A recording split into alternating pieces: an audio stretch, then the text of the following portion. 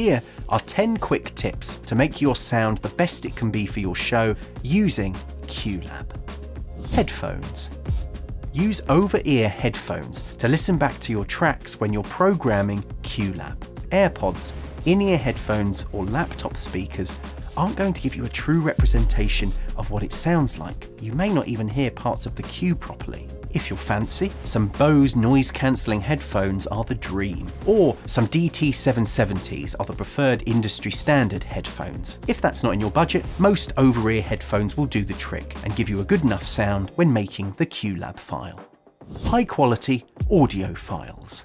Make sure that the sound files that you're working with are high quality. If they have a low bit rate or are very small files, chances are they're going to sound lifeless, hissy, and terrible when played through a sound system. Buy the tracks you need from iTunes, Amazon Music, or the best option is Bandcamp, where you can buy and download the highest quality audio files. A WAV, AIFF, or FLAC is the best, and a high bitrate MP3 is next best.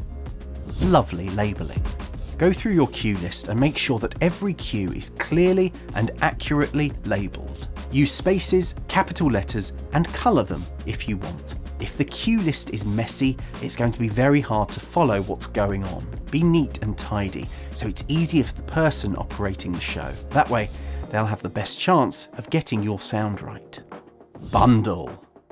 When you're saving your workspace, make sure that it's bundled. This is when QLab saves a copy of all of your audio files and places them into one new folder. This saves the computer unnecessarily working, trying to gather files from all over your computer, which could slow down the running of it or result in audio files getting lost. Bundling your workspace keeps everything together in one place. Backup.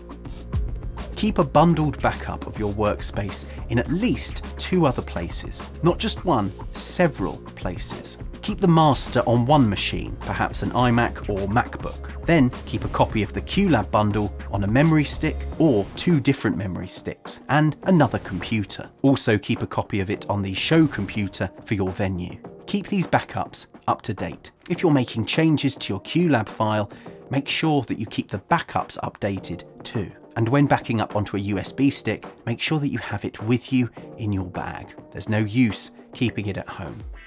Test it in the space. Working with headphones is great when creating or mixing your QLab workspace, but make sure that you test it out loud in the space at your venue using the sound system that's installed. Check that the aux jack lead from the mixer works and fits into the headphone jack of your Mac. When you play it in the space for the first time, you're going to have to adjust the volume levels so it sounds right in the space. You may discover that certain cues or effects are completely inaudible through the sound system. Or other cues may be astonishingly loud and need bringing down. Make time to run through the cues, adjust any volume levels, and get it sounding perfect before any dress rehearsals or performances. Soundcheck track. At the start of your workspace, put a track that you can use as a sound check. Don't let the first cue in your piece be the first thing to be played through the system. I suggest using a piece of music that you know well, so you'll be able to tell quickly if it sounds bad or there's a problem. I like using Maroon 5's song This Love as it's punchy and really well produced. Surround this track in your workspace with some standby group cues that are empty so you can play the soundcheck track without risking starting the show cues by accident. Soundcheck teammate. When you're checking that the sound is sounding good in your performance space, have someone else listening with you. Move around the room and listen from the front, the back, and the sides where the audience will be. Don't just listen from where you operate the sound or the tech box, as it may sound drastically different to where the audience will be. Sit in the seats and listen from different places. Check that the quietest cue and the loudest cue are quiet enough and loud enough. If you're playing any loud sound effects or music, call out firing sound or firing bang or whatever the sound is out of courtesy for the people in the room. Do this before you play the cue. You don't want to deafen anyone or scare someone into injuring themselves if a huge noise suddenly plays and they've just entered the room. Smooth and clean. Go through all of your fade cues and start cues and check that they start and end smoothly and cleanly. Check that there are no sudden starts or abrupt ends. Adjust fade times to be longer, such as 8 seconds rather than 5 seconds. If the cues are overlapping, make the fade out cues shorter, such as 1 or 2 seconds, and add in reverb tails at the end of tracks to make them punchy and clear. Absolute, not relative, fades.